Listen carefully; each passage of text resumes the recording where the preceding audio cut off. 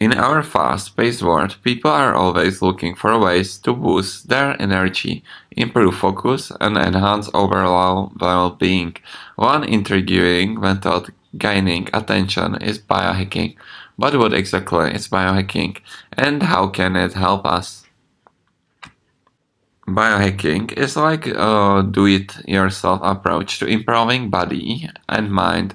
It involves making small positive changes to your lifestyle that can have big effect. These changes often focus on diet, sleep, exercise, and technology to optimize your health. One popular area of biohacking is nutrition. People experiment with different diets to find what works best for them. Some uh, try intermittent uh, fasting, where they eat only during certain hours of the day. Others explore the benefit of a big fat, low carb diet known as keto. The goal is to discover the food that make us feel our best.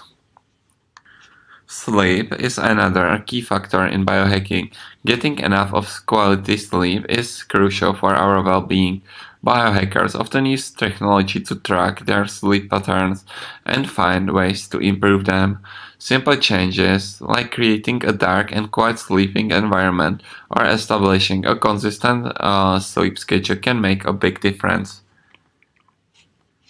Exercise is a fundamental part of biohacking too. It doesn't mean you have to become a fitness guru overnight. Even a short daily walk or a few minutes of stretching can contribute to a better overall health.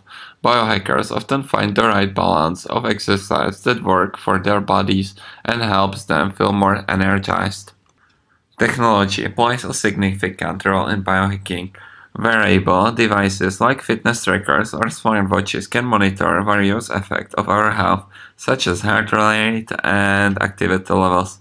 Some biohackers even use uh, apps to track their moods, helping them understand the connection between their mental well-being and daily activities.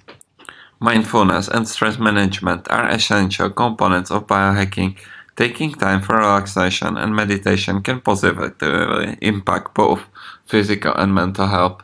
Simple practices like deep breathing or spending a few minutes in nature can reduce stress and increase overall happiness.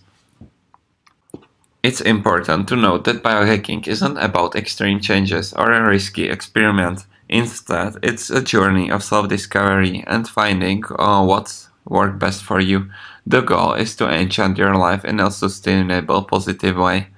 In conclusion, biohacking is a simple and accessible way to improve your body and mind by making small adjustments to your lifestyle such as focusing on nutrition, sleep, exercise, and technology. You can optimize your well-being.